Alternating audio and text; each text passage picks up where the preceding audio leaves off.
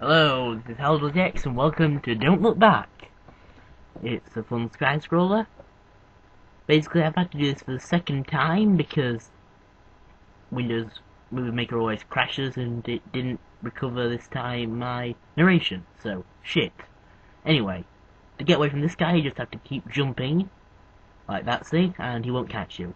Then you have to get this gun, your only weapon in this game, and kill him.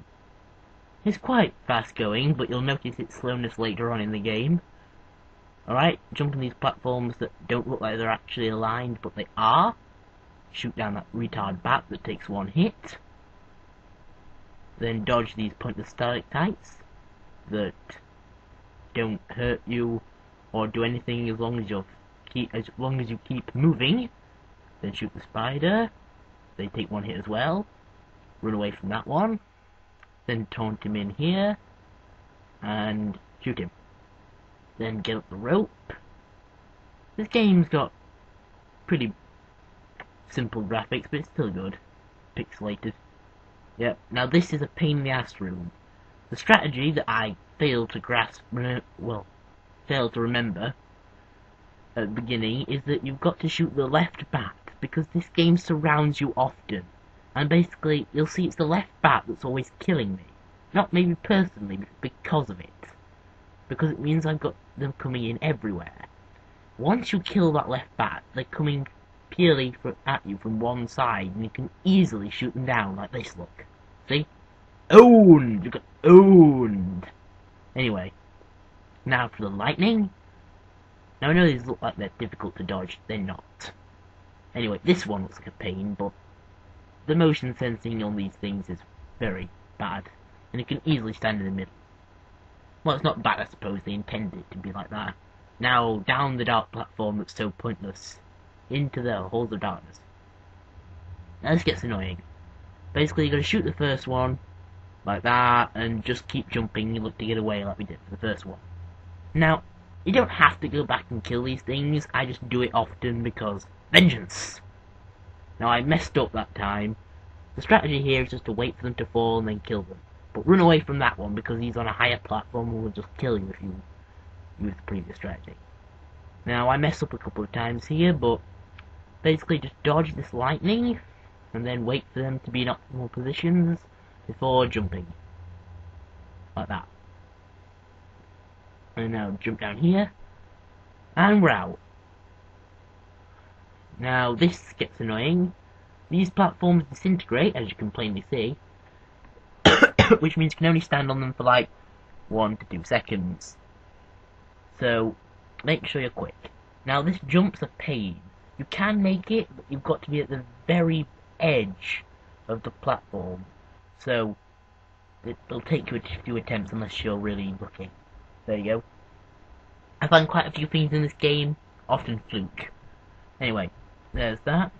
This platform that will disappear after certain after a few seconds. they get also annoying later on. Anyway, doesn't matter that you don't make that because you'll spawn here, shoot the bat, and wait for the optimal time to jump. Now it's a random guess when the optimal time is, but I'm guessing it's like there. See, I made it. Just I'm too slow there. You gotta be quick on these. Now here, you basically got to make these platforms last because you've got to they've got to last until that respawns. Then just jump along here, respawn here, jump up there. Sorry this isn't a very interesting commentary, but it's not too much to say. Now welcome to the first boss. Now the strategy here is to shoot him in the back. Now I mess up here and fail to remember the strategy. You've got to stand here, look. He jumps over you, shoot him in the back. Then just stand still, he'll over you, shoot him in the back. Now this is the hard one. I failed so many times at this, see? He will kill you. Now it looks like you could never get a hit in there, but you can. I've finally figured out how you do it. And I realised there is a trick to it. Now basically here, you've got to jump far enough over him so that you won't immediately turn around. There you go, see? he dies. Pretty easy stuff. Now these are ninjas. These guys get annoying. Takes me numerous attempts to get this guy dead. Ninjas are by far some of the most annoying normal enemies on this game. The way to kill them is simple. It's simple enough anyway. All you've got to do is jump, is hit them like that, see, when they're jumping, when they're defenseless. That's the time to strike. Now this is just hell. Three ninjas coming at you from two sides. You're toast. I remember the first time I played this, well got to this stage anyway, I killed them all. I have no idea how I did it. I probably killed one on my way out and then there was only two left to kill. But I don't do it this time. The smartest place thing here is to run and don't come back, because you don't need to. Like that's it. However, I stupidly, because I of how I play this game, try and go back and kill them. I abandon it eventually, but waste precious time doing this. So, yeah, this is me failing at trying to dodge ninjas. Don't bother. Don't waste your own time as you play this game. Now, all the games I'm currently doing on this, if you care, are from Addicting Games. So go on here to Addicting Games and check out this game out. It's okay. Right, now we get attacked by a swarm of bats from two sides. Now this isn't as bad as it sounds. Just stand here in front of the bridge and just keep switching sides and shooting the bats as they come because they go slow enough so that you can shoot them first. Then wait for the bridge to respawn and off go. Now, welcome to the demon. The demons are annoying because they rapid fire and their fireballs are a lot quicker than your gun. So, just the pa the first time I fought this guy, I killed him instantly. Well, not instantly, but before he could hurt me, I didn't even have to try a second attempt. Takes me forever on this one. Well, not forever. A Few seconds. Uh, few attempts. Basically, you've got to just match the pattern of the fireballs. But I failed to do that. For the most part. I think it's this one. Yep, there you go. See? And then he explodes into more fireballs to make sure you're not too close. Ah, oh, this is a deadly combination. A ninja and a snake. And that ninja's got magical powers. Watch. He was on the screen, wasn't he? Where the fuck's he gone? Doesn't matter if you even walk all the way up to this cliff, look, he doesn't appear again. Weird, isn't it? Anyway. Now this can take a few attempts. It takes me one attempt this time, because I'm lucky.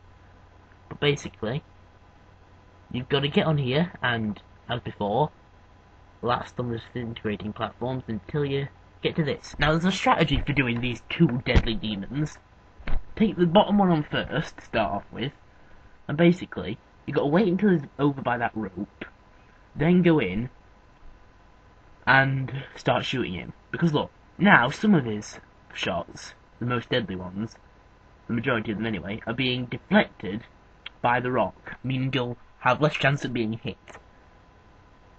Now, for this guy, you just need to jump up to the second platform when it appears, and shoot him. Then duck back down before he can hit you, and he'll blow up in short order. So yeah, welcome to the second boss. Now the last two minutes of this video are me trying to and failing to beat this boss. Now basically you can get hit in the first the moment you drop down, because you can just jump up, look, hit his head, that's the weak point here. But this boss is so cheap. He has so many attacks, it's ridiculous because he summons bats, spiders, and stalactites, all of which can kill you. And he fires fireballs, and he just basically does anything he pleases.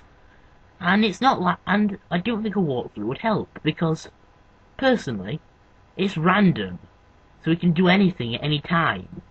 The most deadly attack is an arc of fireballs, you'll have seen it earlier if you were looking. And that's my point. He can do it whenever he pleases.